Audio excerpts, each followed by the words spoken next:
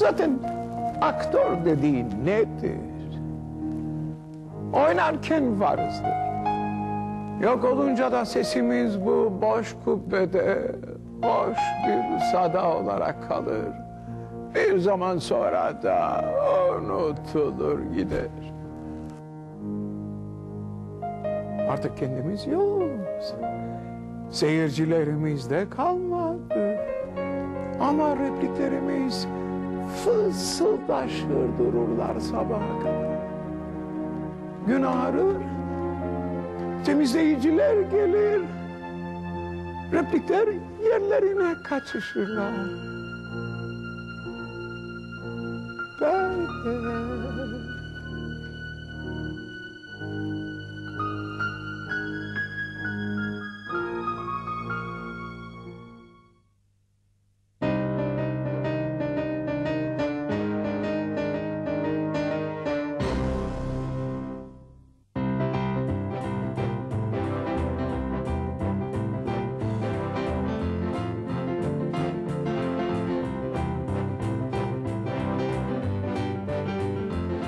1940'lı yıllar kapanırken Ankara'da sosyal hayat savaş yıllarının karanlığından sıyrılıyor, başkent adeta uzun bir uykudan uyanıyordu. 19 Mayıs stadyumu futbol milli takımının Suriye ile yapacağı maçı seyretmeye gelen seyircilerle doluyordu. 90 kuruş yol parası ödeyerek maça İstanbul'dan gelenler bile vardı. Milli takım bu fedakarlığı 7-0'lık galibiyetle ödüllendiriyordu. Sinemalar öylesine doluydu ki Ankara'ya salon yetmiyordu. Tiyatroya gelince, başkentte 10 yıllık bir konservatuvar, düzenli perde açan iki sahne, onlarca tiyatro oyuncusu ve her gece gişeler önünde kuyruk olan sadık bir seyirci vardı artık. Lakin hala devlet tiyatrolarının bir yasası yoktu. 16 Haziran 1949'da o da oldu. O tarihte yürürlüğe giren kuruluş yasasıyla devlet tiyatroları Milli Eğitim Bakanlığı'na bağlandı. Genel müdürlüğe ise Muhsin Ertuğrul getirildi. Geçiş dönemi bitmiş ve devlet tiyatroları artık kendi ayakları üzerinde uzun bir yürüyüşe başlamıştı.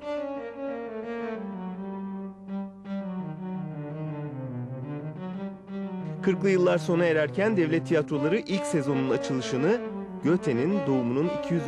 yıl dönümü dolayısıyla Faust oyunuyla yaptı. Ve Ankara bu oyunda yeni bir yıldızla tanıştı. Bir kral Tule ülkesinde ta da ti ta ta ta ta ta dedik diyor. Şimdi ben bir kral hayır evladım kralda ı yoktur diyorlar. Şimdi ı deyince kra onu yapana kadar iki üç defa beni şey yaptılar düzelttiler çok utanmıştım. Ee, tabii böyle şıkır şıkır kıpkırmızı koltuklar o zaman İngiltere'den getirildiği söylenmişti. Ee, çok şık görünüyordu bize ve çok büyük görünüyordu hakikaten. O Valpurgis gecesi diye kalabalık bir sahne var. Biraz gürültülü, patırdılı filan. İşte, yüksek sesle konuşuluyor böyle tiratlar, şunlar bunlar filan derken e, bir şöyle göz göze geldik e, Mephisto'yla. Sonra bir gözümüz salona mı kaydı ne filan. Bir de baktık ki bir sahnede daha kalabalığız salondakilerden.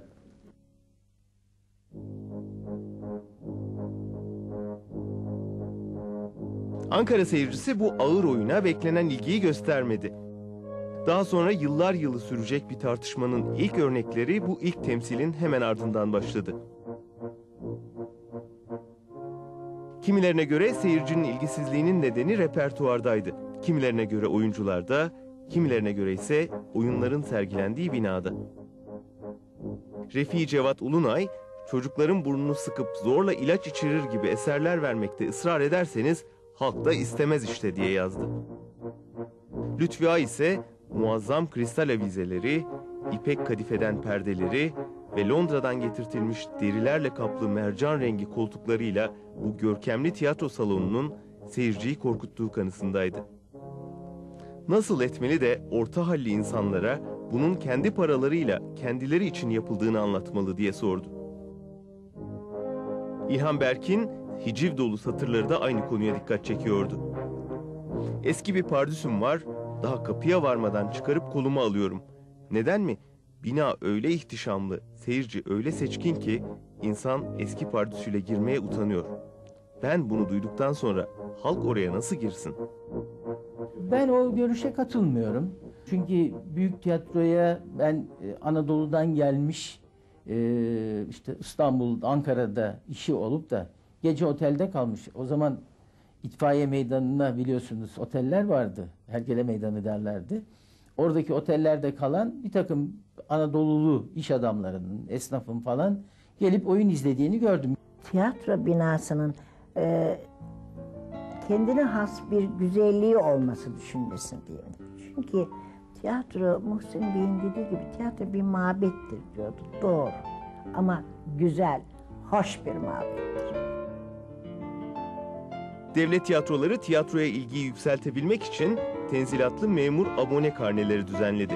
Memurlar %25 indirimli alacakları aylık abone kartlarıyla bir ay içerisinde istedikleri gece, istedikleri oyunu izleyebileceklerdi. Muhsin Ertuğrul seyirciyi tiyatroya çekebilmek için bizzat sahneye çıkmayı da denedi ama nafile. Devlet tiyatroları ilk sezonun perdelerini hayal kırıklığıyla kapattı.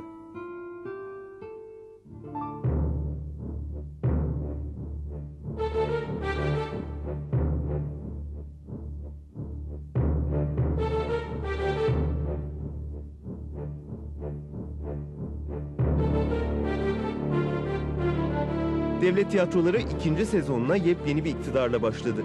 1950 seçimleri yapılmış, Demokrat Parti iktidara gelmişti. Yeni iktidar daha öncekilerin aksine programında tiyatroya hiç yer vermemişti. Menderes hükümeti ilk iş olarak Cumhurbaşkanlığı Senfoni Orkestrası salonunda İsmet Paşa için hazırlanan kulaklıklı koltuğun sökülmesini emretti. Paşa'nın tedavülden kaldırılma çabalarına yanıt Genel Müdür Muhsin Ertuğrul'dan geldi. Ertuğrul iktidara nispet yapar gibi İnönü'nün kulaklığı için Büyük Tiyatro'nun 4 numaralı locasına priz yaptırdı.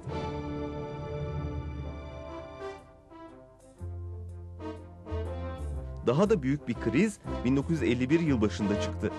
DP'liler yılbaşı gecesi Büyük Tiyatro Salonu'nda bir balo yapmak istiyorlardı. Bu yeni iktidarın sanat anlayışını da simgeleyen bir talepti. Muhsin Ertuğrul ise sanat müritlerinin mabedi olarak nitelendirdiği bu binada balo görmek istemiyordu. Kendisinden salon isteyen kadınlara yazdığı mektup red cevabı değil, adeta bir dönem hesaplaşmasıydı. Tiyatroda balo vererek orayı içkiyle kırbaçlanmış çiftlerin şehvetin sevkiyle dans ettikleri bir balos haline sokmak, bizim ideal edindiğimiz tiyatro mevhumunu evvela bizim gözümüzde, sonra da halk nazarında kirletir, küçültür. Bizim binamızda dans edilebilecek bir tek hol vardır. Orası da sokaktan görülür. Gece yarısı yolda yaya gelip geçen köylü yolcuların gözü önünde yarı çıplak tombul kadınlarla kuyruklu tok erkeklerin tepinmeleri bu yolcuların, bu fakir seyircilerin sefaletiyle alay etmek olur. İster bir emri hayır perdesi altına gizlenilsin, isterse herhangi yüksek bir makamdan gelen arzuya hulus çakmak olsun, sanat mabedi olan kutsi binamızın temiz ve saf havasını ter ve içki kokularıyla kirletmek, yerlerini sarhoş kusmukları içinde bırakmak, tiyatroya yapılacak en büyük kötülüktür. Bu kötülüğü de hiçbir sebep mazur gösteremez.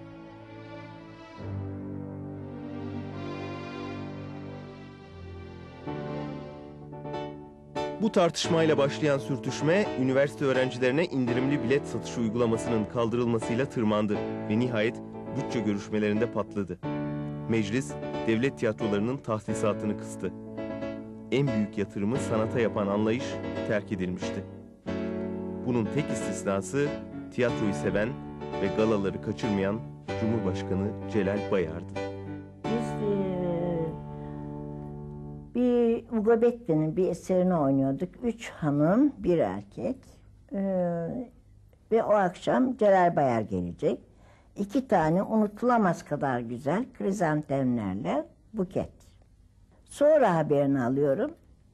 Eee, gelip oturduğu zaman şeye bakmış, eee, programa bakmış. Üç hanım görünce dönüş baş yaver bir biz üç buket, üç çekme yaptırdık. Hayır efendim iki. Üçü yaptırınız. Acele başyaver arabaya atlamış köşe gitmiş. Üçüncü gelmiş. Handan dedi. Ben dedi rol oynasam yani istesem dedi. Acaba bana tiyatroda rol verirler mi dedi. Yaşlı başlı bir adam yanımda. E, hürmet ettiğimiz reisi cumhurumuz. Ellerinde lekeler o zaman ilk defa görüyorum. Elde lekeleri filan böyle e, düşündüm ne diyebilirim. E, dedim efendim siz hayatınızın en büyük rolünü oynuyorsunuz. Reisi cumhursunuz dedim. Canım bırak şimdi sen reisi cumhurluğu dedi.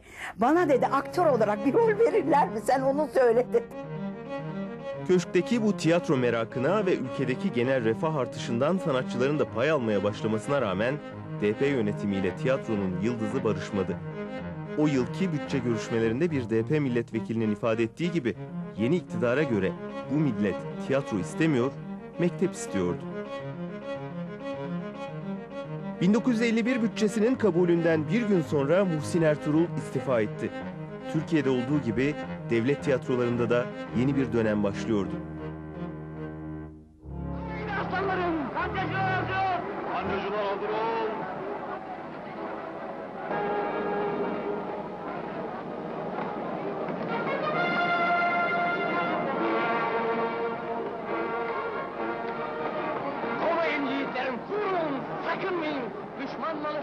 Henüz emekleme çağında olan devlet tiyatroları iktidar değişikliği ile birlikte bir dalgalanmanın içinde buldu kendini. Kurum içi huzursuzluk arttı, ekonomik güçlükler baş gösterdi ve o dönem Cüneyt Gökçer gibi bazı sanatçılar hızla büyümekte olan sinema endüstrisine yöneldiler. Aydın'ı sıkıştırdılar. Gel benimle Salim, sen dur ben gideyim hızlıdayız. Bana Barbaros demişler. Ama asıl adım Hızır. Aydın Hızır gibi yetişmeliyim. Yeni genel müdür Cevat Memduh Altar döneminde tiyatronun kan kaybetmeye başlaması, kimi zaman perde açamayacak hale gelmesi, seyircinin azalması, buna karşın kurumda geçimsizliklerin artması üzerine eski formüle dönüldü ve 1954 yılında Muhsin Ertuğrul yeniden davet edildi tiyatro yönetimine.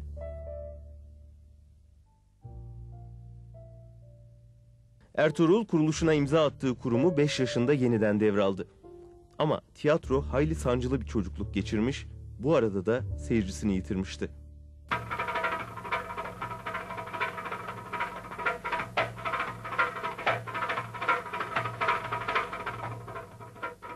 Ankara seyirci araya dursun, İstanbul'un sayıları giderek artan özel tiyatroları gişe hasılatını artırmak için daha etkili bir yöntem bulmuş ve uygulamaya koymuşlardı bile.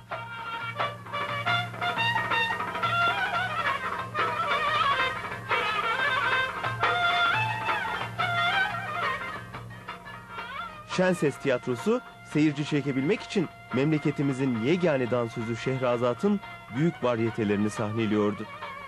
Popüler olanın akademik olana karşı başkaldırısı başlamıştı.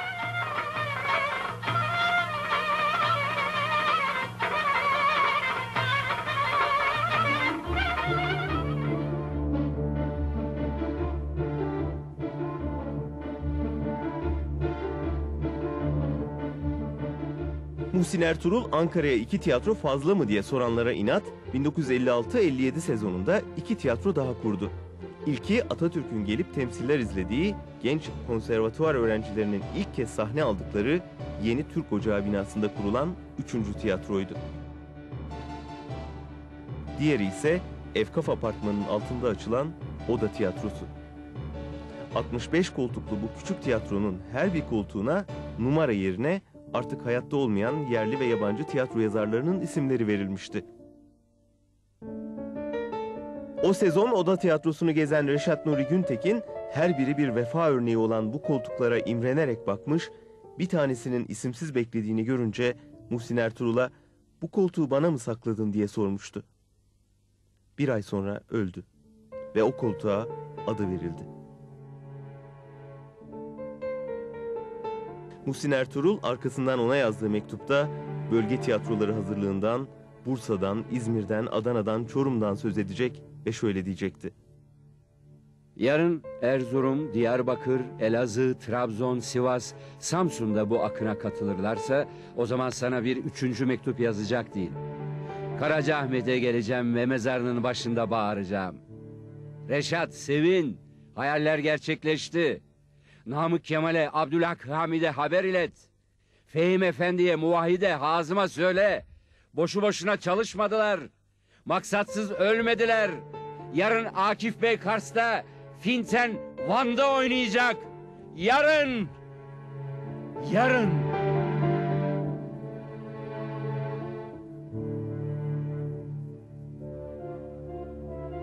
Bu mektup devlet tiyatrolarının 50 yıl sonra ulaşacağı tabloyu o günden neredeyse tamamen görüyordu. O tabloya ulaşabilmek için ilk hedef bölge tiyatroları olmalıydı. Öyle oldu. İlk bölge tiyatrosu olan Bursa Ahmet Vefik Paşa 1957 yılında açıldı. Hem de Osmanlı'nın başkentinde Osmanlı'nın padişahlık sistemini eleştiren bir oyunla. 3. Selim'le. Bir taraftan tiyatro yapılıyor, işte koltuklar takılıyor, siliniyor filan filan yapılırken bir taraftan da biz provalar yapıyoruz bu arada. Ve çok büyük ilgi var. İhsan Sabri Çağlayan hep geliyor gidiyor. Muhsin Bey'den hep telefonlar geliyor. Oynuyoruz. Ben de oynuyordum o grup içinde. Ve annemi de getirdim Bursa'ya. Hem o gecenin heyecanını o da tatsın filan diye. Kapının dışında leblebi, çekirdek, fıstık filan satıyorlar. Herkes alıyor külahların içinde. Annem kahrolmuş. Çünkü ne olsa Ankara'da bir e, tiyatro ve opera kültürü o da aldı bizden beraber. Eyvah demiş şimdi bu çocuklar bunlar çatır çatır kağıtları açtırdattıkça ne yapacaklar? Annem diyor ki büyük üzüntüyle girdim. Tabii ne olacağını bilemiyorum. Ama diyor perde açıldı, başladı. Herkesin elinde kalmış kağıtlar. Tabii bitinceye kadar.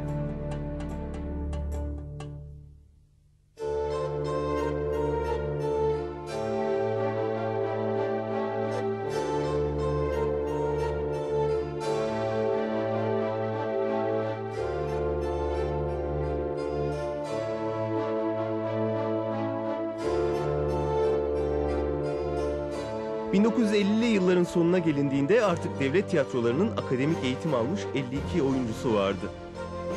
Bu oyuncular 4 sahnede düzenli oyun sergiliyorlardı. İzleyici artmaya başlamıştı. Ankara sanat merkezi haline geliyor, bölge tiyatroları yaygınlaşıyordu. Ve o günlerden bir gün bu mucizenin mimarı Muhsin Ertuğrul'un görevine 3 satırlık bir yazıyla son verildi. O da bir e, Türkiye tarihinde tabii çok şey acıklı sayfa zaten bitmiyor bizim acıklı sayfalarımız ya. Şimdi Muhsin Bey e, tiyatroya inanan bir adamdı ve katiyen tiyatroya kimseye şey etmezdi. Biz o zaman Kültür Bakanlığı yoktu, Milli Eğitim Bakanlığı'na bağlıydık. E, başladılar bakanlar şey vermeye, işte şunu al, bunu çıkar, bunu oyna, Yapamam efendim. Zaten haliniz benden iyi biliyorsanız gelir siz idare edersiniz derdi.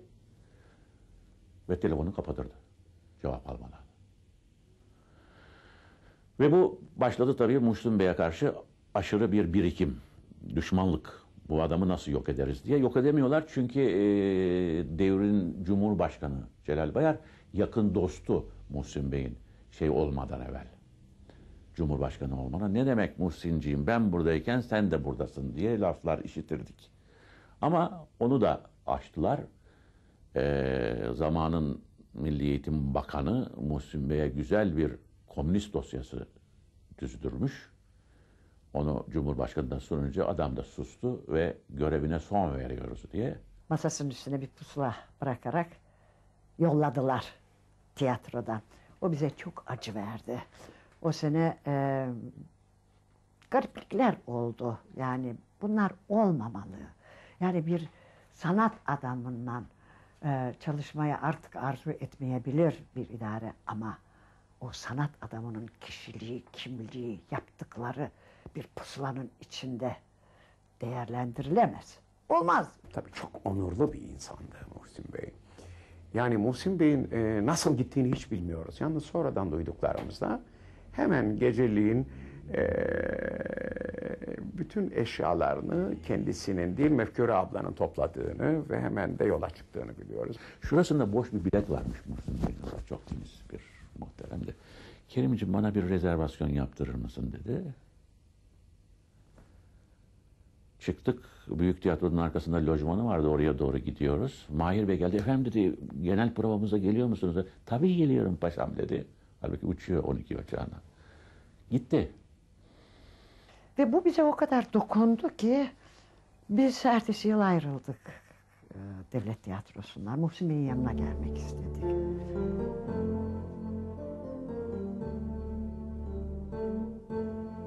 Şimdi bütün gözler yerine atanacak isme çevrilmişti. Bakanın tercihi Cüneyt Gökçer oldu.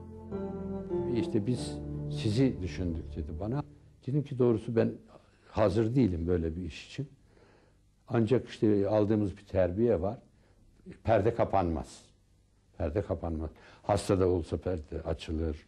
İşte şu da olsa açılır, bu da olsa açılır. Onun için böyle bir durumda ben şimdi işte güvendiğim arkadaşları çağırırım. Beraber otururuz işte eser seçeriz, ederiz. Yani perdeyi açarız. Cüneyt Gökçer genel müdürlük teklifini alır almaz ilk iş olarak trene atlayıp hocası ve selefi Muhsin Ertuğrul'un yanına koştu. Durumu ona bildirmek ve tavsiyelerini almak istiyordu. Ancak Ertuğrul soğuk davrandı. Yani kibar kibar davrandı filan filan ama pek bana fazla bir şey önermedi. Ondan sonra ben onu hep aramak istedim. Ee, ama hep şey yanlış zamanlarda aramışım ki bulamadım aradığım yerlerde yoktu. Çünkü o zamanlar e, Cüneyt Bey de çok uğraşmış ki Muhsin Bey gidip yerine gelmek üzere diye. Ve Muhsin Bey'e bunu uğraşanlar söylüyorlar. Ve bunu söyleyenler de sağlam ağızlar. Yani sıradan kimseler değiller. Yalan söylemek mecburiyetinde olmayan kişiler. Söyleyince Muhsin Bey çok kırılıyor. Kral geliyor.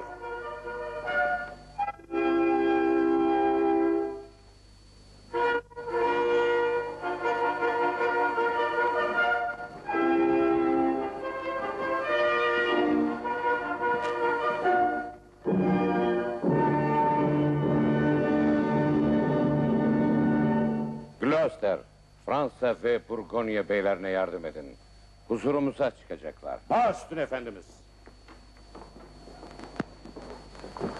Biz de bu ara şimdiye kadar gizli tuttuğumuz bir düşüncemizi açıklayalım. Tahtın yeni sahibi Cüneyt Gökçer göreve geldiği yıl Muhsin Ertuğrul'un hazırlandığı bir rolle Kral Lear'la çıktı tiyatro seyircisinin karşısına. Yeni kral tiyatroyu ülkenin en fırtınalı dönemlerinden birinde devralmıştı. DP iktidarıyla muhalefet ilişkileri en gergin dönemini yaşıyor ve Türkiye dolu dizgin bir askeri müdahaleye gidiyordu. Bardağı taşıran son damlalardan biri Vatan Cephesi oldu. Herkes kitleler halinde cepheye katılmaya çağrılıyordu ve çağrı sonunda sahnenin kapısına kadar dayandı. 28 Ağustos 1959 günü saat 13'te radyolardan duyulan bir anons bazı opera ve tiyatro sanatçılarının da halk dilinde VC denilen Vatan Cephesi'ne katıldığını duyuruyordu. Ülkedeki cepheleşme sonunda sahneye çıkmıştı. Ama bu oyun çok sürmeyecekti. Başkalarının sahne almasına pek az zaman kalmıştı. Sevgili vatandaşlar, dün gece yarısından itibaren bütün Türkiye'de deniz, hava, kara Türk Silahlı Kuvvetleri el ele vererek memleketin idaresini ele almıştır. Bu hareket silahlı kuvvetlerimizin Kampana çalarak gelen ihtilal müşterek 27 Mayıs işbirliği 1960 sabahı patladı. DP yönetimi tam kadro yassı adaya hapsedilirken Türkiye'de yeni bir döneme sahne oluyordu. Devlet tiyatroları bu yeni dönemi, yeni sahneyi açarak karşıladı. Sahnede suçluları getirin diye haykıran Caligula vardı.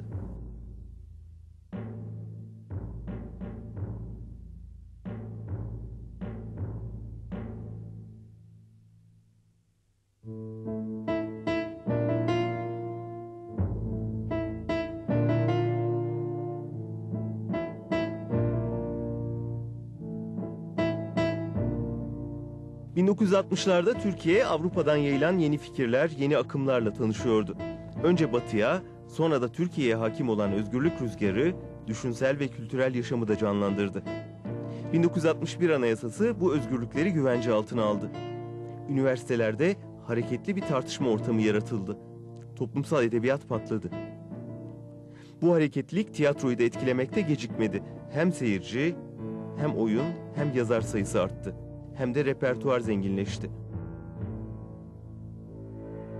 Sayıları hızla artan özel tiyatrolar politik tiyatro örnekleri ve farklı sanat anlayışlarının ürünlerini sergilerlerken devlet tiyatroları hem Batı'nın klasik yapıtlarını hem de muhalif yerli yazarların oyunlarını repertuara aldı. Tiyatronun dışa açılışı da bu dönemde gerçekleşti. Hem yurt içine hem de yurt dışına turneler düzenlendi. Boyumuzun ölçüsünü alalım istedim. Yani biz neyiz gerçekten? Utanacağımızı sanmıyorum ama yani bir risk olduğunu da biliyorum. Olsun alıyorum bu riski e, göze diye karar verdim. Ee, elimizde de e, gerçekten çok beğenilen üst üste oynadığımız e, şey var. Kral Oidipus var ilk gidişimizde. Ve de ihtilal oldu.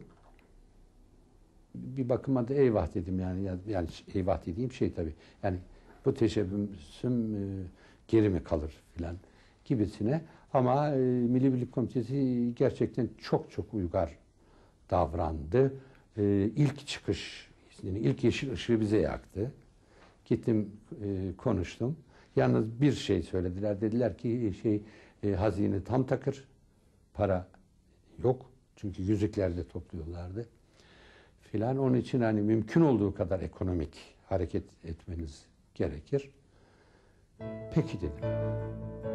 Böylece devlet tiyatroları ilk yurt dışı turnesini sıkı yönetimin özel izniyle 1960 yazında Paris'e düzenledi. Ve Kral Oedipus Fransız seyircisi ve eleştirmenlerinden tam not aldı. Genel Müdür Cüneyt Gökçer 1962-63 sezonunda devlet tiyatrolarında müzikallere başlanacağını duyurdu. Sanat çevreleri tiyatronun işlevi eğlendirmek midir? Devletin tiyatrosu müzikal oynar mı gibi soruları tartışa dursun, devlet tiyatroları Öp Beni Kate müzikaliyle tiyatro severlerin karşısına çıktı ve salonları doldurdu. Ama buna karşı çıkanlar oldu. Bunların bir kısmı belki bilgi noksanlığındandı. Bir kısmı da belki kıskanıyordu. Kusura bakmayın.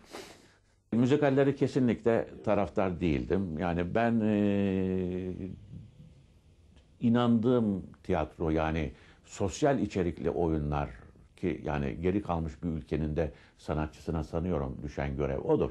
Seyirciyi de o zaman kaybettik. O dediğim gibi 60'larda zirveye çıkan seyirci, o güzel seyirci.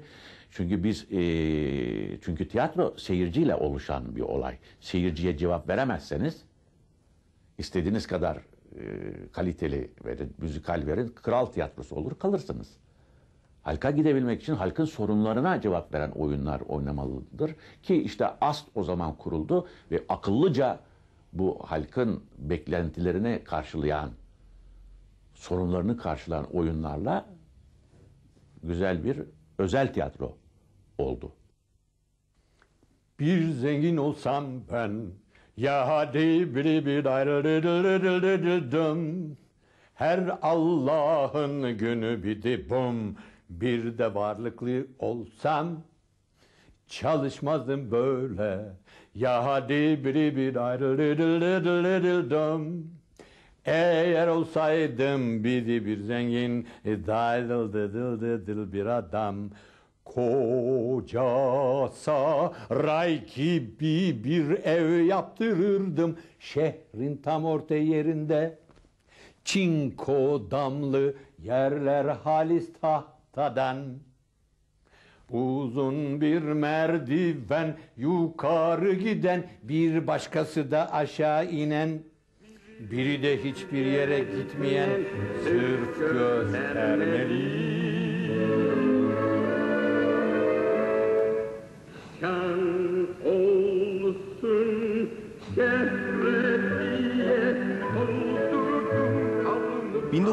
1960'ların sonlarına doğru devlet tiyatrolarının sahnelerinden yükselen bu nameler yeni hayatın içinde taşı toprağı altın şehirlerde zengin olma düşü kuran milyonların dilindeydi artık. Sanki ederdi aleme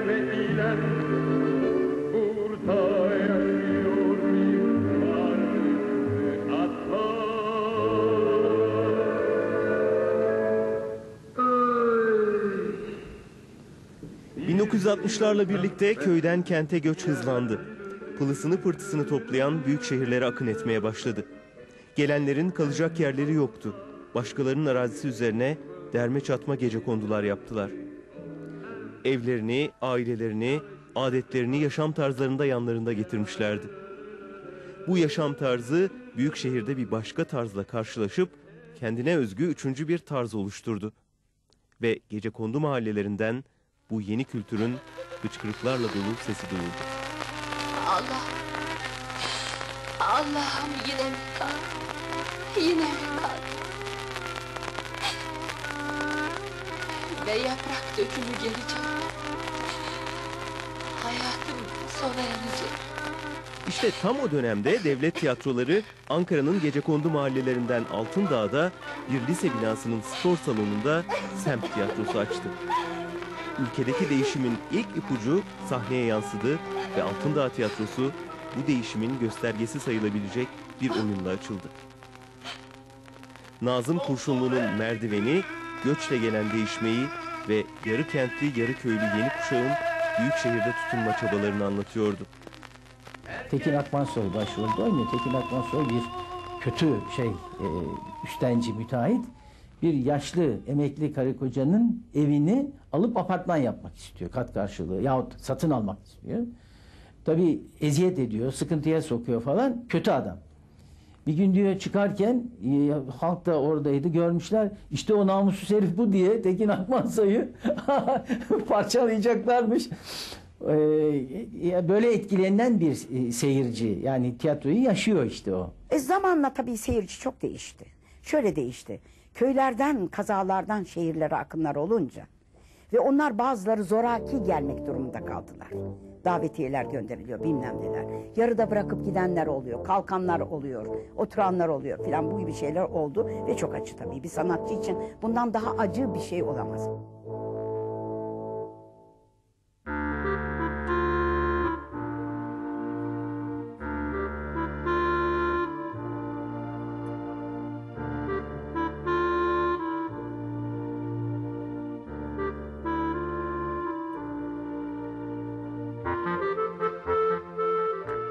...1960'ların ortalarında Türkiye'de herkes sokaktaydı. Ve herkes sokaktayken tiyatroda sokakta bir şeyler yapmalı diye düşünülüyordu. Her yer tiyatrodur tezi işte o günlerde ortaya atıldı.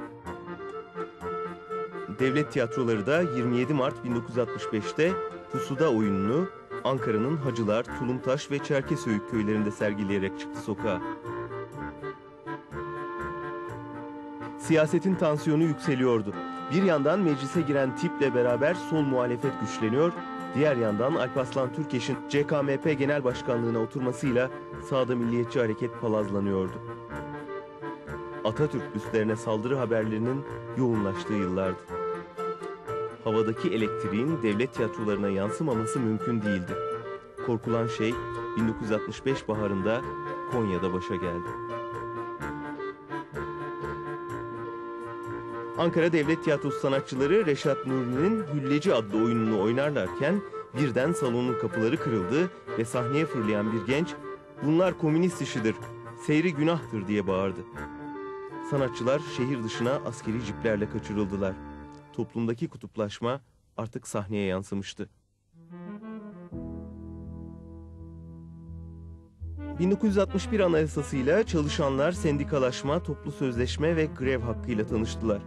Yeni kurulan Çalışma Bakanlığı koltuğunda CHP'den genç bir politikacı oturuyor ve kamuoyu örgütlenmenin, sendikalaşmanın, hak mücadelesinin önemini kavruyordu. Tam o dönemde sanatçılarda TOTSİS'i yani Türkiye Opera, Tiyatro Sanatkarları ve Yardımcı İşçileri Sendikası'nı kurdular. Artık sanatçılar da örgütlüydü. Ancak tiyatro yönetimiyle sendika yönetimi arasında ilk kriz çok geçmeden patlak verdi.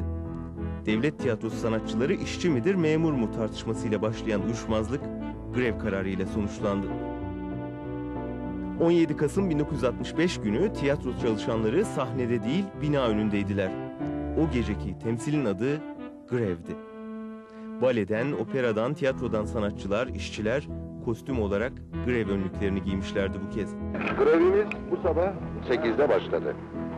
Ee, ve biz e, TOTSİS idarecileri olarak bu grev kararını çok evvelden aldık. Ve buna karşı olaraktan da işveren karşı koydu. Yedide geliyorum. Akşam saat altı buçukta yedide gidiyorum. Şu ellerimin yarasına bakın. Hadi. Bizden olur ben şurada çalışalı da hala 350 lirayla çalışıyorum. Hala 350 lira. Olur mu böyle? Varıyorum Cüneyt Bey'e boynumu büküyorum. Cüneyt Bey Sabri Bey'e söyle. garip isteklerde bulundular ki işte maaşlarımız şu kadar olsun. Canım efendim onu ben verecek değilim yani ben yani onu verecek değilim. İşte ya işte şu aralarda süt içelim. Şurada elma dağıtılsın filan böyle bir takım istekleri bir de benim yetkim nereye kadar? Ben bütün o tiyatroların sahibi patronu filan değilim. Kriz öyle tırmandı ki perde açmaya çalışan oyuncularla grevciler arasında ciddi gerginlikler yaşandı. Nihayet bir gece sabırlar taştı ve eleştirilerin odağındaki isim Genel Müdür Cüneyt Gökçer grevi kırıp sahneye çıktı. Bir gece gazeteciler cemiyetinde Sıhhiye'de orada oturuyorum ve tabii eve falan gitmiyorum çünkü her gece bir tiyatroda bir şey olabilir. Hemen haber alıp tedbirlerini alıyorum. O sırada bir bir telefon geldi. Bir arkadaş hastalanmış. Onun için şimdiki ikinci arkadaş da ha ben hemen yerine şu oynasın dedim. Efendim ona gitmişler. Halbuki onu ilgilendirmediği halde efendim ben onunla oynamam. Ben karşımda aktör isterim demiş. Oyuncu isterim demiş. Bunu da bana telefonda söylüyor ve perdenin açılmasına beş dakika var. Şimdi ben ona oyuncu bulacağım. Nerede bulacağım hay Allah? Beş dakikada zor. Dedim ki tamam buldum geliyor bir oyuncu dedim. Söyle geliyor bir oyuncu.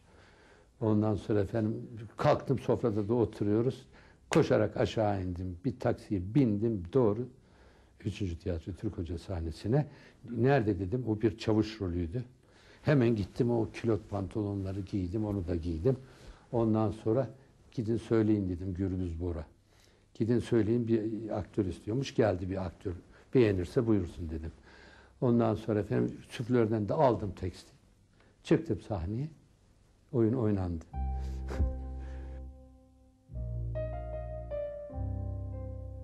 Sonunda Genel Müdür Cüneyt Gökçer grevi sonuçlandırabilmek için 35 sanatçı ile birlikte başbakana çıkmaya karar verdi. Başbakanlıkta henüz bir haftalık bir lider oturuyordu. Tebrik kabulleriyle gündemi hayli yüklü olan Demirel sanatçılara randevu veremedi. Onlar da randevusuz başbakanlığa baskın yaptılar. Görüşme o nedenle hayli gergin bir havada geçti. Merhaba, hoş geldiniz. Hoş geldiniz. Hepinizin elini sıkmak isterim ama benim sefirlerle bir şeyim var. Sefirleri kabul edeceğim saat on buçukta. Onun için buraya kadar gelmişiz, geri çevirmeyeyim istedim. Efendim affedersiniz, siz bizim hissiyatımızı, düşündüğümüzü bilin. Evet. Şimdi bilin bakalım ne düşünüyorsunuz hissiyatınızı. Biz Perdenizin açılmaz, ka- açılmamasının sebebi biz değiliz. Bir memlekette idare bir adamın düğmeye basmasıyla şu veya bu şekle gelecek durumdan çıkmıştır. Bu itibarla başvekil olarak bana geliyorsunuz. Ben sizin probleminizi daha evvelden biliyorum. Ama benim emrimle perde kapansın, benim emrimle perde açılsın devri geçmiştir Türkiye'de. Anlatabildim mi? Şimdi ben orada hatırlıyorum iri kıyım bir laf ettim. Sonra ben hatırladıkça gülüyorum. Efendim dedim ben huzurunuza bir e, sanatkar olarak geliyorum. Genel müdür pardüsümü dışarıya astım dedim. Ceren Beyefendi, müsaade ederseniz huzurunuzda bir umum müdür olarak değil, bir sanatçı olarak konuşmak istiyorum. Kanun buyurdunuz, çok haklısınız. Dün bizim davranışlarımız kanun çiğnerek, e, çiğnen, e, çiğnenerek özür dilerim heyecanlıyım. Yani biraz heyecanlı bir şeyim ya. Yani çünkü yani bir idareci bu kadar küstah olmaz. Gelip de efendim metezori içeri girecek filan. İşte tiyatro şudur, tiyatro kapanmaz, tiyatro bilmem şey filan falan filan filan diye anlattık anlattık. Ondan sonra e, o da daha hakikaten de bilmiyor da yani duymadı da yani. Yeni de ya nereden de bilsin. Ancak her zamanki zekasıyla güzel bir cevap verdi. Memlekette kanun var dedi. Kanunlar vardır, nizamlar vardır. Demokratik memleketlerde her şey müsamaha